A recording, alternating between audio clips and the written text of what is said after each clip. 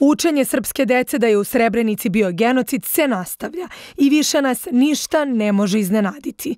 Visoki predstavnik za Bosnu i Hercegovinu Kristijan Schmidt rekao je u potočarima da oni koji nose cveće na neke spomenike ili glorifikuju Ratka Mladića ne mogu očekivati da neće snositi sankcije. Dodao je da je veliki problem to što deca u Republici Srpskoj i u Federaciji imaju različite programe kada je reč o istoriji, te da će se angažovati da to promeni promeni. Zvaničici Republike Srpske i istoričari u nameri Šmita vide novi pokušaj prekrajanja istorije i oduzimanje prava deci da uče istoriju sobstvenog naroda, što je, prema mišljenju stručnjaka, korak ka stvaranju unitarne Bosne i Hercegovine u kojoj će biti života samo za bošnjake.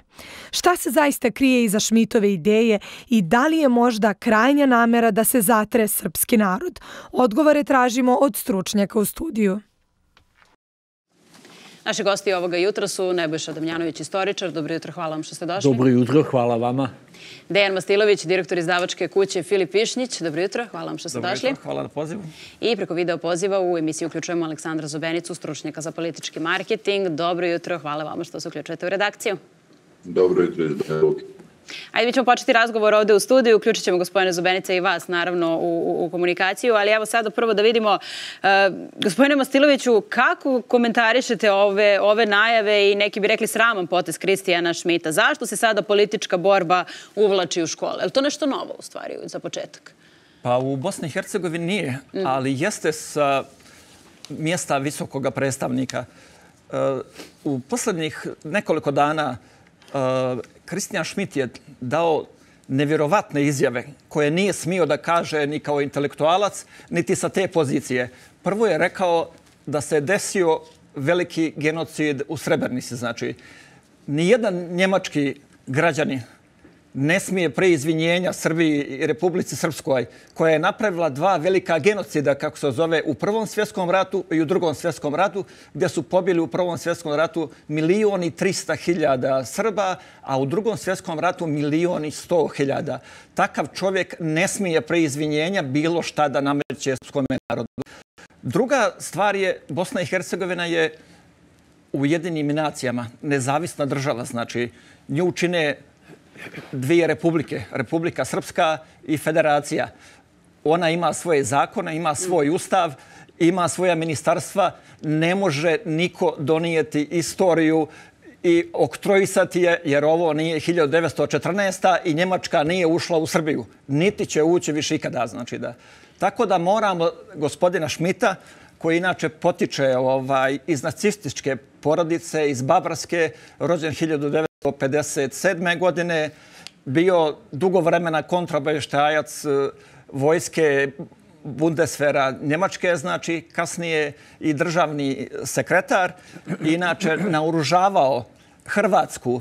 Nije slavo kamione oružja, nego je slavo vozove sa tenkovima, sa topovima. Dobro, ali s kojom namerom sada onda smo čuli ove izjave da bi trebalo dakle, da se uči ista, ista istorija? S, ko, s kojom to namerom? Šta je krajnji cilj toga? Pa znači mi ne možemo učiti istu istoriju Hrvati, muslimani, Srbi jer imamo svi svoju nacionalnu istoriju. A to nešto znači- sporno. Izvinite, molim vas, ali je li moguće da svako sad ima svoju istoriju i da činjenice nekako menjaju lice u zavisnosti od državljanstva? Vidite, oko nekih činjenica ključnih bi se ljudi, posebno istraživači, istoričari, valjda mogli i dogovoriti. Oko nekih. Oko nekih teže. Istorija nije što i prirodne nauke. Istorija je nauka, ima svoju metodologiju, ali a, istorija je priča o ljudima. Znate? I ona nikada neće biti do te mere egzaktna kao što su kažem, prirode nauke. To s tim se treba pomiriti. Ovo, znate, da imamo na umu. Ne vidimo prošlost isto. I ne možemo sasvim. Evo, daću vam jedan primjer. Hajde, da ne idemo dublje u prošlost. Početkom 20. veka, posle Prvog svjetskog rata, bio žestoki grčko-turski rat. Žestoki. Turci su pobedili kao brojni, bacili, bacili u prenesenom smislu, potisnuli preko milion Grka u Egejsko more. Grčka ih je naselila uglavnom u, Ege, u, u Egejsku Makedoniju. Zapalili Smirnu. Mislim, pazite, na teritoriji zapadne male Azije, zapadne Anadolije, gde su hiljadama godina živeli Grci. e, Turska i Grčka ne vide i nikad neće videti isto. Nikad. Dobro, a kako je bilo to u staroj Jugoslaviji? Mi smo tu imali različite republike i da li je, svaka republika je imala uh, svoj, da kažem, nastavni plan za uh, škole u svojoj republici. Naravno, znate, tada je, uglavnom, zavisi, trebalo bići po periodima, ali to je bilo prilično ujednačeno. Ali uzmimo u obzir da je to bila država, kako bih rekao, sredim autoritarnim poredkom, jednopartijska i tako. Dobro, dosta toga se guralo po tepih. Jeste, mnogo šta se guralo po tepih. I jedan zaključak iz toga, ta zajednička, dakle, zajednički planirana istorija nije nas približila i usrećila. Mm -hmm. Teško, evo, Bosna, da, da, ono sam naveo kao primjer, nismo mi jedini sa tim problemom. Ali, znate, u Bosni, recimo, muslimani prisno osjećaju dolazak Turaka. Znate, u, već od kraja 14. ali definitivno u 15. veku, poznato, nesporno, tursko osvajanje Bosne, do tada hrišćanske Bosne, u najmanju ruku, što se može reći, oni to e, doživljavaju, i to iskreno, praktično najveći deo muslimana, kao nešto jako pozitivno i dobro. To, znate, je došla je ona civilizacija čiji su oni deo vekovima bili. I katolici, Nisu tako, bili, Hrvati? Oni su poturčani tada. Ali od tada postali, od tada uči, tada, tada su bili pre. Ali čemu su pripali? Pa su onda, ja govorim ljudima 21. veka. Znači, e, bošnjaci su sebe vekovima osjećali Turcima. Pazite, i to s punim ustima. I njihova hrišćanska okolina ih je videla kao Turke i oni su sami sebe, ja sam umeo i rado citiram Efendiju Cerića koji je bio kako je kao vođa verski muslimana, čovjek je živ i zdrav. On je kazao, eto, kad nama kažu da smo Turci, mi nismo, mi smo Bošnjaci, ali ovako, citiram Efendiju Cerića, e, u istorijskom smislu mi jesmo Turci. E sad, ako, e, Hrvati i Srbi, dolazak Turaka, kao nešto veoma rđavo, kao nešto što je preseklo. Imate onaj poznati Andrićev, je li tako, na Andrić je doktorirao na tome. Mm -hmm. I tu se ne mogu, tu se sa, ne mogu približiti, kako bih rekao, I to, viđenja. Da, I to jesu negde različita viđenja uh, istih događaja. Međutim, obrazovanje je ustavom zagarantovana nadležnost Srpske mm -hmm. i, i, i ne može biti predmet nikakvog političkog određenja. Zar ne, uh, gospodine Zobenica? Pa u Bosni i Hercegovini je sve moguće i ništa nije moguće, to se na delu vidi proteklih deseta godina. Ovo što, se, što, je, što je gospodin Šmit, koji rečeno nije predstavnik, jer nije izabran u skladu sa međunarodnim pravnim aktima koji su doneseni u Ujedinjenim nacijama i u skladu sa Dejtonskim mirovnim sporazumom.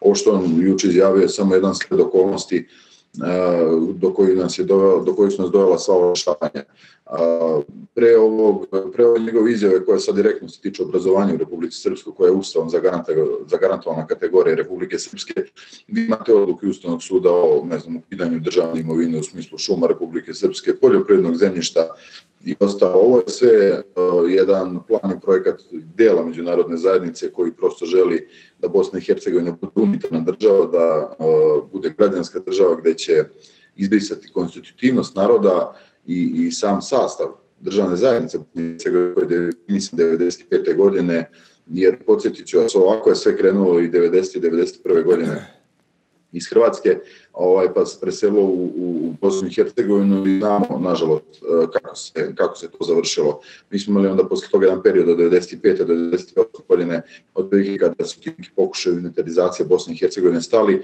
ali evo se doći smo da u proteklih, proteklih nekoliko godina, posebno po e, prošlih godinu dana, koji su za nas e, sve snažniji su da međunarodne zajednice kako bi se Bosna i Hercegovina napravila unitarnom. Ehm, ja sam siguran da, da će srpski korpus ehm, političkih stranaka u Republike Srpske, bez obzira da su vlasti ili opozicije, izuzeti jedinstven stav po ovom pitanju, jer istorije ne možemo gledati. Uh, isto zato Bosna i Hercegovina jeste sastavljena od tri konstitutivna naroda. Ja mislim čak da, da u Republike Srpskoj je veći nivo suživota sa, sa Bošnjacima i sa Hrvatima nego što u Federaciji. U, u Republiku Srpskoj veći procenat čak povrat, povratka ljudi e, drugih, e, drugih vera i nacija koji su izbegli za vreme rata nego u federaciji. Tako da e, sve ovo što se dešava mislim da, da nije dobro, ali eto čvrsto, čvrsto verujem da će, da će postojati neki ljudi koji će znaći izlaz iz ovoga bez nekih uh, većih posledica.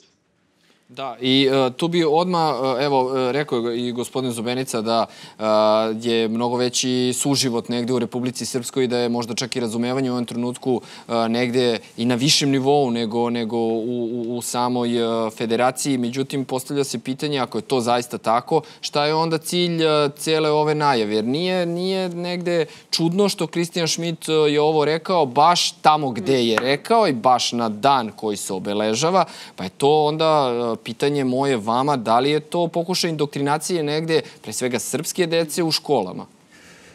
E, glavni problem je ovaj što ne postoji visoki predstavnik. Mi imamo nasilnika koji je došao iz Njemačke i on pokušava da provodi njemačku politiku srpskom narodu to mu neće uspjeti. Znači, ovaj, niti će neko prepraviti programe u školama istorije, našu će istoriju predavati ovaj, i pisati Ljuba Dimić, akademik, Miloš...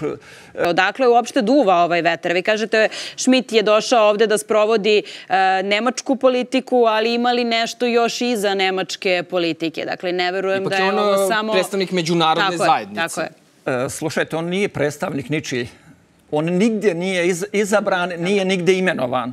Čovjek je došao kao turista iz Dubrovnika, šetao se malo po Balgaju, Mostaru, ručao na buni ovaj, i došao sjeo i kaže, evo ja sam došao.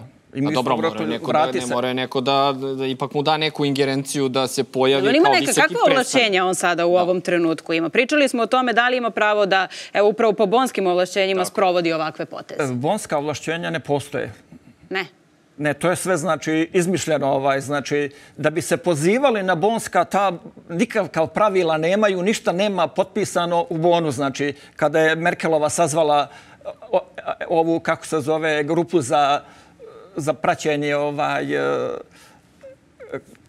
kako se zove, implementacije i tako dalje u Bosni i Hercegovini, znači ovaj, oni su se očešali tu, sjeli i rekli i naredni dan kaže evo na osnovu bonskih ovlašćenja, niko nije donio nikakva, ovaj, kako se zove, stav, niko nije potpisao nikakav sporazum, ništa živo.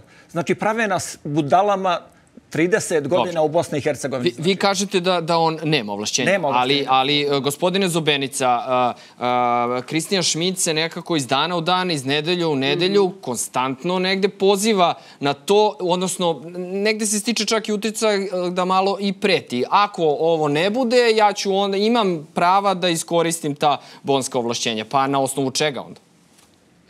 Pa dobro, ja ću vam ponoviti uh, da Christian Schmidt uh, nije imenovan u skladu sa Dejtonskim mirovnim sporazumom i sa međunarodnim pravnim aktima koje je donao sa Ujedinjenih nacija, to je tačno Ujedinjene nacije a, nije prošao proceduru kao što su svi visoki predstavnici pre njega došli proceduru, nije dobio saglasnost niti Bosne i Hercegovine, to jest Republike Srpske, niti Saveta za implementaciju mira, to jest takozvanog pika u Bosni i Hercegovini. Na kraju njegovo imenovanje nije potvrđeno na sednici Saveta bezbednosti Ujedinih nacija.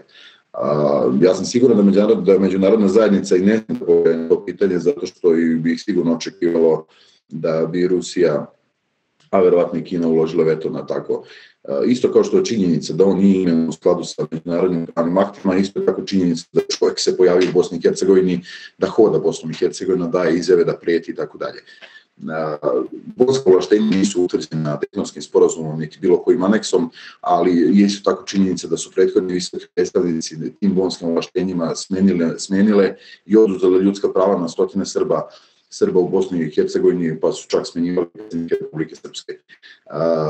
Ja ću vam ponoviti, ovo je plan unitarizacije Bosne i Hercegovine koji se sprovodi zadnjih 22 godine ili 27 tačnije.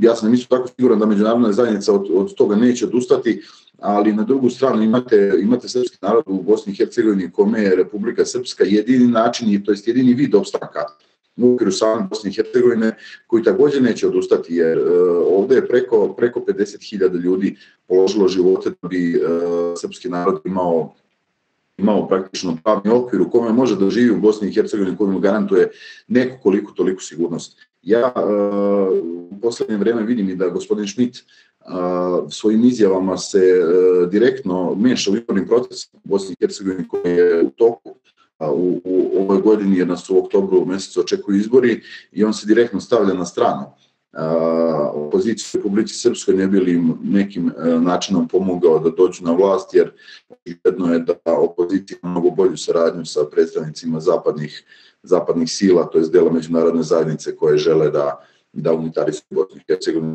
na građansku državu praktično.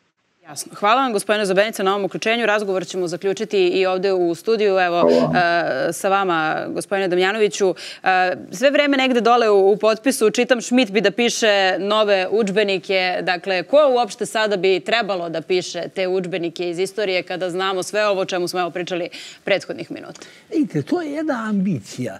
Da se izvrši nekako opšta nivelacija. Da se onako nametne svima jedan narativ, jedno zajedničko viđenje prošlosti. Ali to je, i to Schmidt, ja sam čitao tu izjavu, on kaže ja dolazim iz Nemačke, ja znam, on vratno aludira na to kako se u Nemačkoj dosledno, za ne, kroz programe sproveli detaljno izučavanje nacističkog zločina nad jevrejima. Međutim, situacija je sasvim dru, bitno drugačija. -hmm. Mi smo imali u Istorijskom muzeju Srbije, u kojem sam radio skoro 40 godina. Jednu izložbu, ne znam, kao nekako da kajem uslovno na toj liniji, mm -hmm. ono, približiti narative, ublažiti suprotnosti Balkan. Ne, ne mogu tačno da citiram Dobre, naslov, možda se to naći. Znate, svi najdobronamernije kolege su zaključile da tu nema ni glave ni repa. Znate, recimo, evo kako je to, da ilustrujem. Kao, ne znam, približiti balkanske narode, izložba ko treba da predstavi nekoliko vekova istorije Balkana. Ne znam, u Elbasanu sedi tamo neki, jel da, Albanac, tamo, ne znam, prodaje kafu, ne znam šta radi. Onda u Bugarskoj, ne znam šta. U stvari, vi na kraju nemate nikakvu sliku. To je ono šarena slikovnica. Svako svojim poslom. Neki ljudi, ne, ja, znate šta, poruke, neću da kajem, poruka je na neki način i plemenita. Setimo se da smo ljudi ovo ono. Sve je to na tom nivou u redu. Ali nema tu istorijske, kako nema istorijskog tkanja. Mislim, ne, nema ni pravog razvoja. Dobro, sve je to jasno, ali baš na primjeru Bosne i Hercegovine je toliko sporno zato što tamo tri naroda žive na jednom malom prostoru i treba negde da nađu zajednički jezik. To da, i zato, i sigurno, znate, na neki način, uh, uh, istorija je društvena nauka, zar ne? Na neki način moramo biti svesni, uh, valjda svako želi, kako neko, te, ako ništa, želi za svoje potomstvo neko dobro. Treba, ja razumem tu težnju sa smirivanje situacije mm -hmm, i tako, mm -hmm. ali ne možemo sada pisati neku izmišljenu i lažnu istoriju skroz. Meni se bar čini, recimo, da su Srbi stigli do Stambola i pokorili Tursku, s neke strane to bi doprinelo i srpskoj slavi. Ali nije se tako desilo. Nego zna se da su Turci došli i mislim, znate, ne možemo dotle ići. Bojim se da se ovde prelazi ona linija baš ja sam rekao, istorija nije do kraja striktna, da. ali ona ima svoju, svoje procedure, svoju metodologiju. Tako je, ali postoji i procedura i postoji ovo ustavno ovlašćenja i postoji mnogo nekih pravnih okvira koji će pa valjda ovo sprečiti. Hvala vam puno što ste bili naši gosti ovog jutra.